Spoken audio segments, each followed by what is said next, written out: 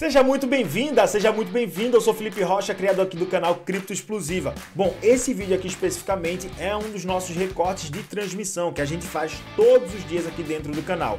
E é por isso que eu vou pedir para primeiro que você deixe o like nesse vídeo. Isso favorece demais a nossa entrega de conteúdo para outras pessoas. Se inscreva no nosso canal e, claro, ativa o sininho das notificações para que você fique por dentro de tudo que está rolando aqui no canal. Aqui do meu lado também tem um QR Code ou no link fixado na descrição para você ter acesso ao nosso canal do Telegram. Lá eu compartilho dicas exclusivas, análises que muitas vezes eu nem trago aqui para dentro do canal e também algumas entradas que eu acabo fazendo de curto prazo dentro do mundo cripto. Então, se quiser ficar por dentro de tudo, vem para o nosso canal do Telegram. E é claro que antes de passar toda a informação, preciso deixar aqui nossa advertência de responsabilidade e dizer que nosso maior objetivo é te entregar conteúdo, te entregar informação. Por isso, antes de considerar qualquer compra ou venda, faça sempre o seu próprio estudo. Felipe, você acha que é possível Matic bater topo histórico mesmo no B-Market? Eu vou fazer essa pergunta para vocês. Vocês acham que é, a Matic ela pode bater o topo histórico dentro do B-Market?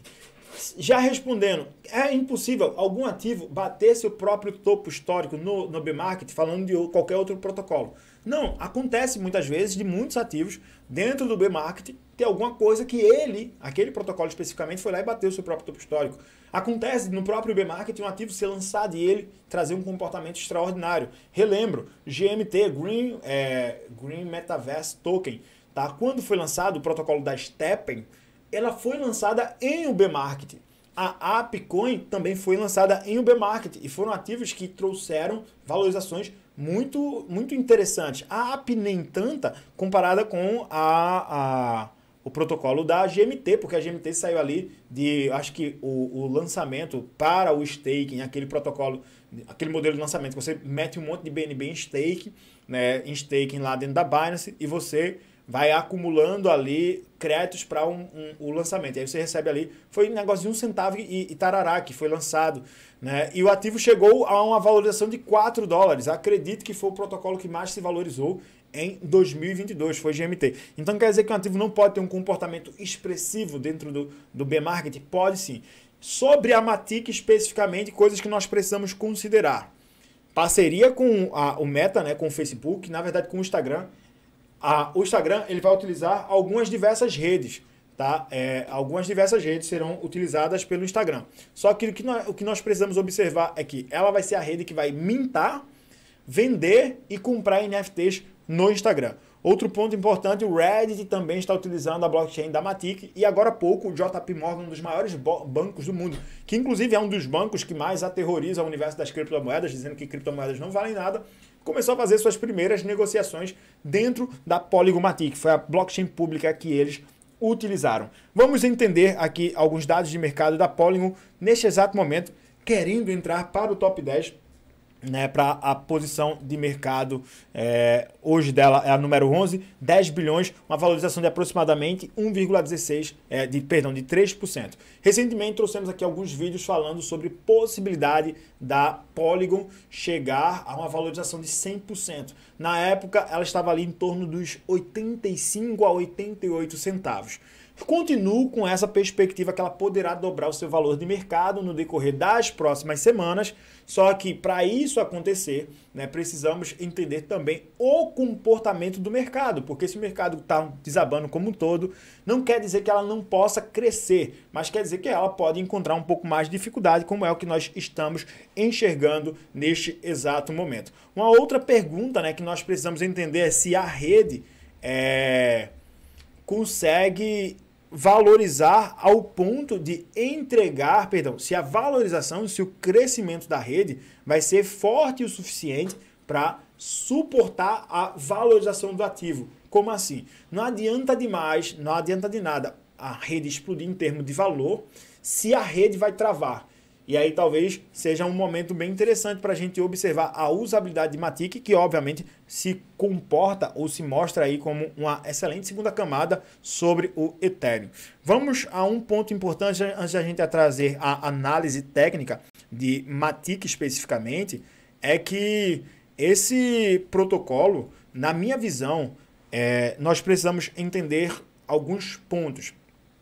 A Ethereum tem diversos catalisadores. Isso aí você já sabe. Né? A Ethereum tem vários catalisadores dentro do mercado, né? como Arbitrum, como Optimism, a Immutable X, que inclusive está levando vários projetos da Polygon para o, o, o, seu rebanho, para o seu domínio, mas nós precisamos entender que eh, dentro do, do, desenvolvimento de todas essas redes, a, a Polygon é uma estrutura que tem conseguido criar um ecossistema muito, mas muito consistente. Bom, e aí nós batemos na pergunta, a preço da Matic visa ganhos de 200% com a adoção da Polygon, é, é, pelo Instagram e também do JP Morgan. Eu recentemente falei sobre isso, né? Minha perspectiva é de 100%, né? Mas aqui é trazido 200%. E aí fala-se em termos das parcerias de alto nível, né, que a Polygon tem. Neste momento, né, que foi trazido aqui o conteúdo, a Polygon era negociada em 98 centavos, então era possível ali mirar algo em torno de um crescimento para próximo de 3 dólares, por exemplo. A questão é o Prismatic se, a, se aproximando aí em alguns comportamentos gráficos que poderiam trazer uma explosão relativamente forte para o protocolo. Só que nós temos alguns pontos que nós devemos considerar. E vamos trazer aqui é, rapidinho a força da Polygon tá, em termos de adoção de NFTs tem mostrado aqui um, a mintagem de NFTs tem caído é, um pouco nos últimos meses e esse comportamento é completamente normal. Mas vamos entender aqui é, o gráfico da, da Matic para este exato momento e entender o comportamento dela para é, esse cenário de realização do mercado.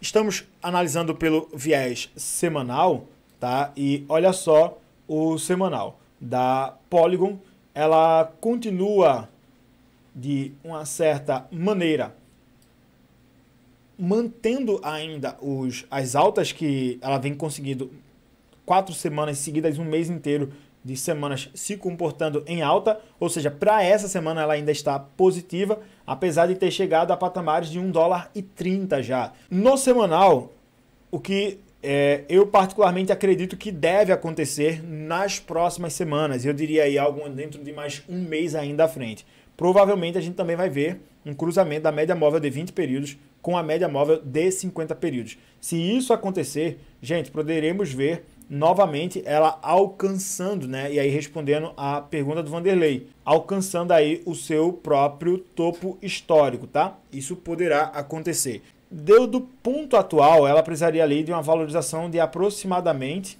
150% do ponto atual, 1 dólar 16 para conseguir bater esse, essa nova ATH. Vamos se basear como tendo o suporte ali nos 77 centavos e mirando então né, esse alvo, a maior resistência que a, que a Matic precisa superar e no semanal ela não está conseguindo fazer isso, é 1 dólar e 23 centavos. Ela foi até 1 dólar e 30 duas semanas consecutivas. Mas essas duas semanas consecutivas que a Matic foi buscar esses topos, ela bate e volta né, no semanal na resistência de 1 dólar e 23 centavos. Então, isso acaba trazendo aí uma perspectiva é, que o protocolo está tendo, óbvio, dificuldades aí para manter uma crescente relativamente mais forte. Baseados nisso, né? Se a gente conseguir enxergar esse movimento dela superar esses 1 dólar e 23, podemos ver no semanal e aí dentro de 3, 4 semanas, quem sabe, uma valorização para 1 dólar e 85. E aí bateria com as nossas análises anteriores da gente enxergar, por exemplo, a Polygon alcançando os 100% de valorização sobre ali, algo em torno dos 90 centavos. Baseado também no comportamento do mercado, ela tem regiões de suportes muito importantes. Para isso, a gente precisa baixar o tempo gráfico e vamos trazer aqui pelo diário. Resistência dela ali em 99 centavos, então ela poderia realizar no diário até 99 centavos. A mínima que ela chegou a apresentar hoje foi uma mínima aí de 1 dólar e 6 centavos. Para quem pegou, por exemplo, é, quem gosta de fazer trades né, mais arriscados de curtíssimo prazo, teve uma oportunidade muito interessante, mas está tá batendo em um ponto de resistência do diário, que também é um ponto interessante aí, próximo dessa região né, do 1 dólar e 13 centavos, tá? Então precisamos acompanhar ah, os próximos passos da Matic. No semanal, o viés ela apresenta uma tendência de alta. No diário, traz aí uma oscilação que está correlacionada ao que está acontecendo com a queda do mercado para este exato momento. De coração, eu espero que você tenha gostado desse conteúdo e agora eu vou te fazer um convite muito importante. Lá no nosso canal do Telegram, a gente vai fazer a jornada do milhão dentro da Web3, onde o nosso maior objetivo vai ser montar uma carteira focada em longo prazo somente com ativos ligados à estrutura de Web3. Todas as informações sobre esse projeto a gente vai disponibilizar lá no nosso canal do Telegram. Então, se quiser participar, mais uma vez, o link está fixado aqui na descrição ou através do QR Code. Fica também o convite para que você siga a gente nas nossas redes sociais, onde você procurar arroba Felipe Rocha TV, você vai acabar nos achando. Inclusive, no nosso Instagram, a gente abre uma caixinha de pergunta todos os dias para tirar suas possíveis dúvidas. Que Papai do Céu te abençoe demais, tamo junto, é só o começo, é claro. Até o nosso próximo conteúdo.